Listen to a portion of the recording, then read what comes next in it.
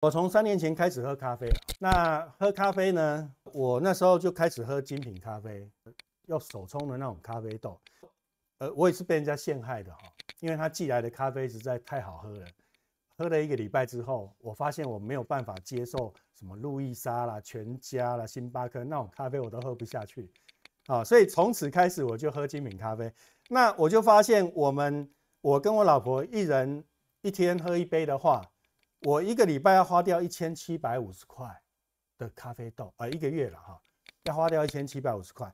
那时候我就想说，哦，这个喝起来好像比抽烟、好吃槟榔还要花费还要惨重这样。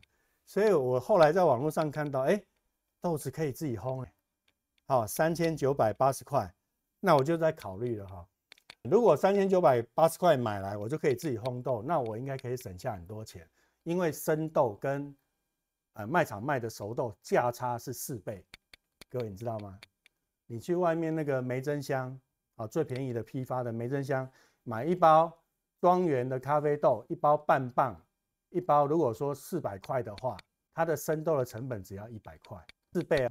好，所以我就在想这件事哦。但是三九八零哈，对我来讲，我是一个呃生在闽南村的客家人，我我们的血缘应该是客家人，所以这个数字三九八零对我来讲，哎，我就会犹豫很久，你知道吗？我还在网络上比价比了三个三个礼拜，我竟然买不下手。啊，我以前在五十岁以前，我一直是这种观念，三九八零我会考虑很久，后来。我三年前就是 Kama 那嗯远距那时候，我开始发现 Kama 这个东西，我就练习，我就把他的那个统计表一拉出来，把数字填上去，这个表马上就自动产生哦。产生之后，我马上就去订了那一台烘豆机。为什么哈？各位看一下，以前我一个月花一一千七百五是黄色这一条啊。我如果先期投资买那个咖啡机。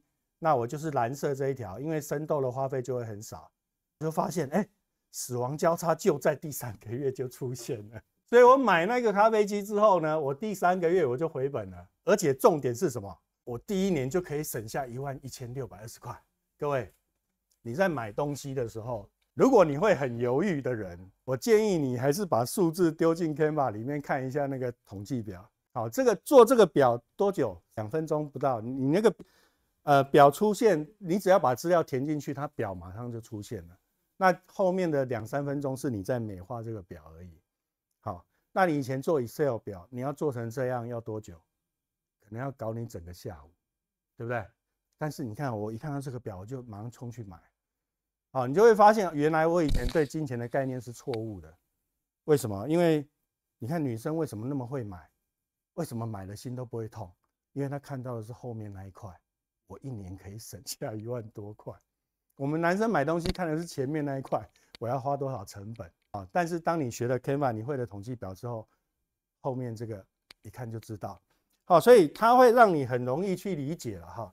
好，那这个东西在我们科技领域的核心叫做运算思维的资料表示。那它是一个很重很厉害的技巧哈。